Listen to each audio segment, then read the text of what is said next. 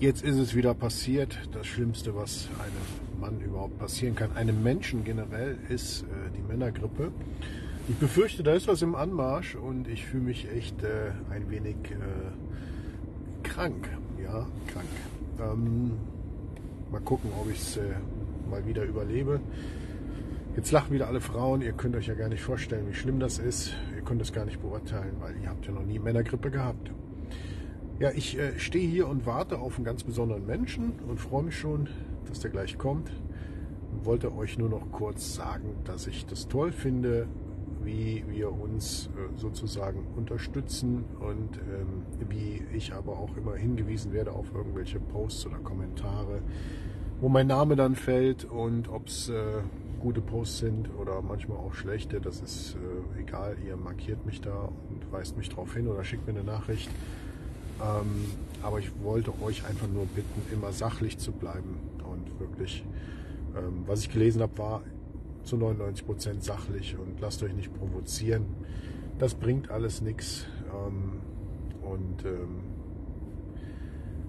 es ist schade, dass man so vieles hinnehmen muss oder dass es immer so weit kommen muss. Ähm, aber dafür probieren wir das ja in die Öffentlichkeit zu bringen, was so los ist, jetzt speziell auf den Wolf bezogen. Ich habe jetzt immer nur mein Lohnunternehmerprofil, ähm, die Nachrichten gecheckt zum Thema Wolf. Ich habe gesehen, auf meinem Markus Wipperfield Profil ist auch was gekommen.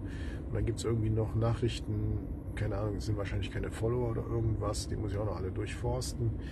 Aber ich wollte jetzt erstmal ein bisschen Ruhe einkehren lassen, weil mir das auch tatsächlich zu viel wurde. Ähm, und es ist auch nicht immer so gut zu ertragen, was da manchmal gezeigt wird und was geschrieben wird. Und ähm, dementsprechend brauche ich auch mal ein bisschen Ruhe und klicke mich vielleicht gleich ins Bett. Ich habe bis gerade mal ein Stündchen oder zwei im Bett gelegen und äh, irgendwie sind im Moment alle krank, aber das ist ja auch die Jahreszeit dazu. Und äh, solange man nicht irgendwelche Regelungen trifft oder irgendwelche Lappen wieder vom Gesicht tragen muss, hallo, wenn man äh, unterwegs ist, dann ist doch alles in Ordnung. Ne? Also, äh, Wolfsdam Gloria, Abschluss freigegeben. Ja, ist zum Abschluss freigegeben. Äh, ich hoffe, dass damit das Problem gelöst ist, aber ich befürchte, dass jeder Wolf irgendwann zum Problemwolf wird, wenn einfach zu wenig zu kauen da ist. Das ist so. Dann werden wir auch zu Problemmenschen. Und äh, Wolf und Mensch unterscheiden sich da, glaube ich, nicht unbedingt. Und äh, die sind ja auch nicht dumm. So, ich muss mal aussteigen.